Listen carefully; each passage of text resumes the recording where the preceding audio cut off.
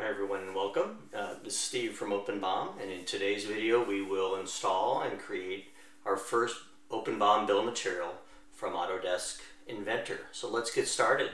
The, uh, the process will be, we'll, we're going to start at the Autodesk App Store for the um, OpenBOM for Autodesk Inventor page and we are going to download from the app the Inventor MSI file. Okay, so once you have that downloaded, you're going to go ahead and run that and install it. I'm going to I'm going to let you do that. So once you install and answer the prompts, go ahead and open Inventor and open an assembly. And once you do that, you'll see some new, make sure you're in the Assemble tab. You'll see some new menu up here, uh, menu options for OpenBOM. Since this is our first time in, there's a few things that we'll need to do to configure OpenBOM. The first of which is we will need to create an account. So use this option to create a new account in OpenBOM. You'll be taken to the sign up page where you can provide your credentials. This will be the email address that you wish to use for your OpenBOM account. I'm going to choose Inventor as my CAD system and then provide a smart password. Agree. Okay, so I've just created a new account in OpenBOM. And I'm taken to the new uh, a user's dashboard. This is where your of material will, will be once we start creating them. Okay, let's return to, we've installed uh, the add-in, we've created an account in OpenBOM. Let's return to Inventor close the settings dialog if it's open and open it again and now sign in with your new credentials. Okay, and once you do that, you may receive a message which says that the OpenBOM CAD integrations require a professional user subscription level or above. So you have a couple of options here. You can jump over to the pricing page and purchase a, a, a professional level or above subscription, or you can click on Get Trial and, and receive an instant trial license that you can try for a few days to get started. So go ahead and choose you know whichever option suits you best, and then when you return to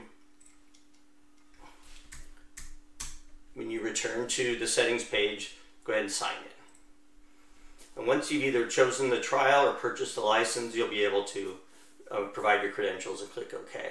So for our first bill of material, we're going to choose multi-level.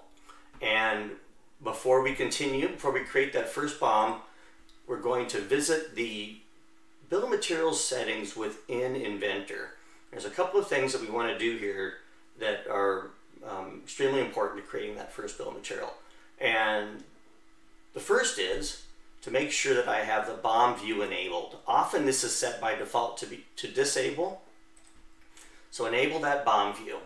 And then second, take a look at those properties that are across the top and make sure that those are the properties you'd like to include in your bill of material. If they're not, or if you'd like to add more, there is an option up here to choose columns and you can choose through a variety of different uh, column or properties that are available. There's another video on this that goes into much more detail about how to configure this. But So be sure that both that that's set up correctly.